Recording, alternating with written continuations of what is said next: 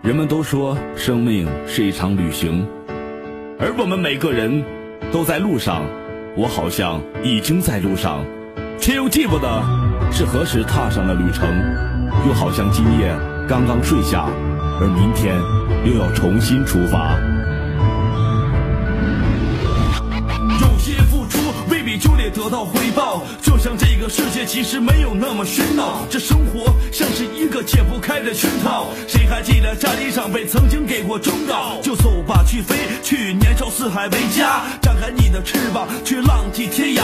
看看所谓的梦想代价有多大，看看这个世界秋冬和春夏，去尝遍路上所有要接受的酸甜苦辣，去看清，也许你才会真正的长大。去试试每天为了生活担惊和受怕，不想去也可以，请考虑上涨的难归无论路途有多远都请别心灰可是你得相信你能看见黎明前的光辉就算有些事都已经被打黑你吹吹了谁的泪孤独的夜很心碎不需要谁再给我安慰。因为我早已忘了心碎哦你难道做的